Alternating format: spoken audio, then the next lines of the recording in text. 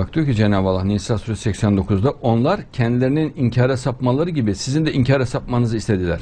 Yani onlar mesela kendi nasıl gidiyor Müslümanları bırakıp? Mal için, para için, rahatlık için. Evet hocam. Bahane bulur zaten münafık. Yani şeytan sizi diyor sakın Allah ile aldatmasın. Münafık mutlaka Allah'la aldatmaya çalışır. Yani Müslümanları dağıtmak isterken mutlaka Allah ile aldatarak dağıtmak ister. Evet hocam. Ve kendi de örnek olarak kendini göstererek bak ben nasıl gidiyorum. Siz de gidin, sen de git, sen Evet. de git ve bu dava dursun der. Evet. Münafığın özelliğidir. Bak onlar kendilerini inkara sapmaları gibi sizin de inkara sapmanızı istediler. Böylelikle bir olacaktınız. Aynı seviyeye gelecektiniz diyor. İstediği budur diyor münafıkların. Nisa suresi 81. Bakın tamam kabul derler. Ama yanından çıktıkları zaman onlardan bir grup karanlıklarda senin söylediğin tersini kurarlar. Münafıklarda bir manyaklık vardır. Mesela durur durur birden Müslümanın aleyhine ani bir hareket başlatır. Birden ters döner. Evliya gibi bir üslupla Evet. e, bu şeytanın üslubudur. Birden Müslümanlardan yana gibi görünür. Yeniden yine sapıtır. Yine Müslümanların aleyhine döner. Yine ters döner. Müslümanlardan yana gibi görünür. Evet hocam.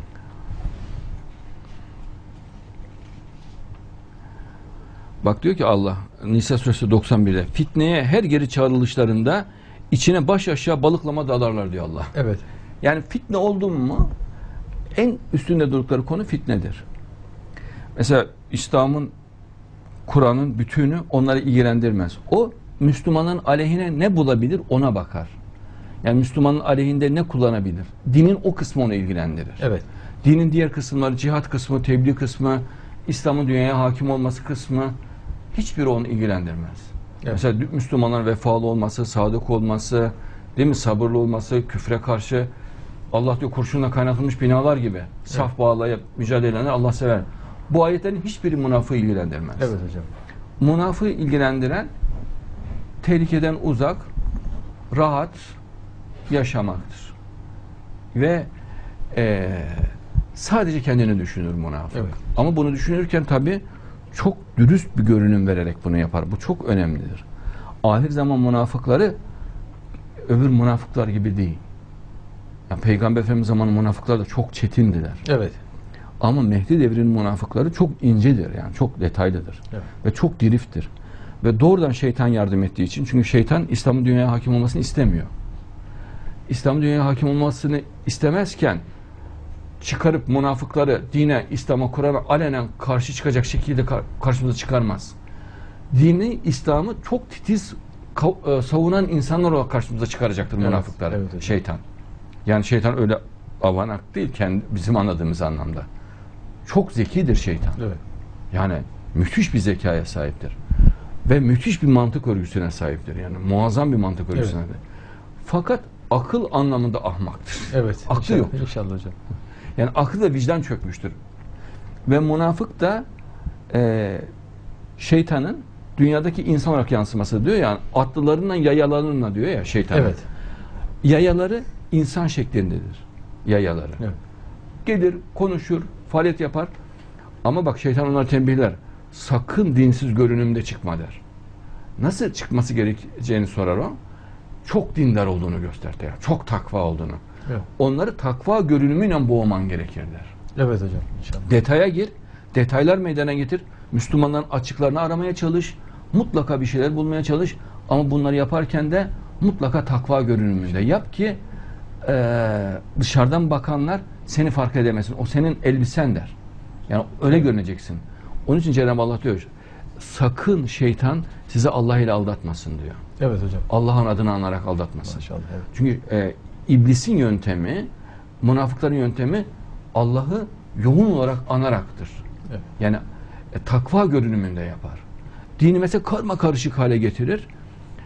Sen der zorluktan kaçıyorsun ama ben zorluğun içindeyim bak der. Şimdi ona bakan avamdan bir insan ya der bu kolaylığın peşinde, bu zorluğun peşinde. Zorluktan bu kaçınmadığına göre doğru olan bu der. Evet. Halbuki onu boğacak bir sistemi kurmuştur o. Yani o labirentler kurmuştur. O labirentlerin içinde onu boğacaktır.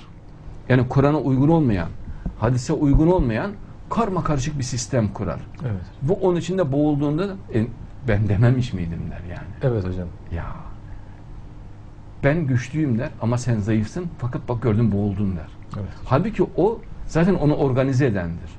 Şeytanın uslubu biliyorsunuz. Cehennemde onu söylüyor. Ben diyor sizi sadece çağırdım ben Allah'tan korkarım diyor. Evet hocam inşallah. Nisa suresi 62'de bak diyor ki kuşkusuz diyor münafıklar sana e, sonra sana gelerek diyor mesela geliyorlar Mehdi'nin yanına veyahut Peygamber Efendimiz yanına kuşkusuz diyorlar bak tebliğ yapıyorlar kendilerince. Biz iyilikten ve uzlaştırmaktan başka bir şey istemedik. Biz iyilik amacı yani düzeltmek amacıyla iyi olmanızı istiyoruz diyor. ve uzlaşmayı istiyoruz. Yani çok uzlaşmacı görünür münafıklar. Böyle alttan alan görünür. Yani onda sakın hataya düşmemek lazım. Evet hocam Yani inşallah. uzlaşmacıdırlar. Evet. Bak biz iyilikten ve uzlaştırmaktan başka bir şey istemedik.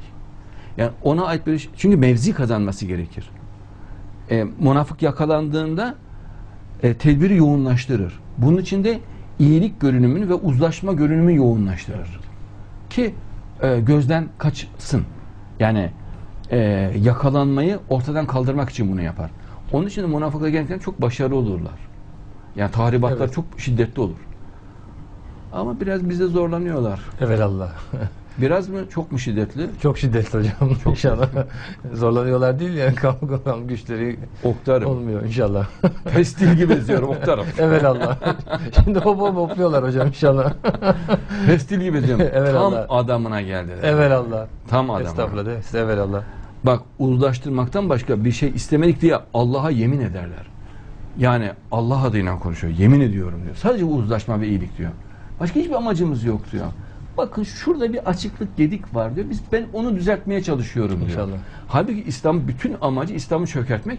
O anda bulabildiği kendince göya gedik gibi bulduğu bir nokta olmuş oluyor. Evet. Bakın İslam'ın bütün hükümleri onu ilgilendirmez. Halbuki İslam'ın yüzlerce hükmü var değil Evet. mi? Ve cihat var. Onu birinci plana alması gereken onu almaz münafık. O girift yönleri e, Kur'an'da açıklanmadığını zannet. Hani vardır ya haşa benzetmek gibi kanun boşlukları olur bazen. Evet. Değil mi? Kanun evet. boşluğu evet olur. hocam. Suçlular onlardan istifade etmeye başlar. Evet. Çalışar. Münafık da kendince Kur'an'da açık bulduğu yerlerden girmeye çalışır. Haşa evet. Halbuki. Kur'an'da bir şey zaten açıklanmıyorsa o zaten helaldir. Evet. Yani mesela kiraz helal mi diye biz gidip kirazı araştırmayız. Evet. Değil mi? Evet, evet hocam. Üzüm helal mi diye araştırmayız. Ama münafık der ki bunun hükmünü sen nerede buldun der. Evet. Kirazın hükmü var mı der.